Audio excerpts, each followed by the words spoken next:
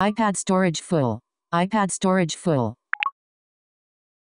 I alert. iPad storage full. You can free up space on this iPad by managing your storage in settings. Settings. Photos. No photos available. Setting. Screen recording in progress.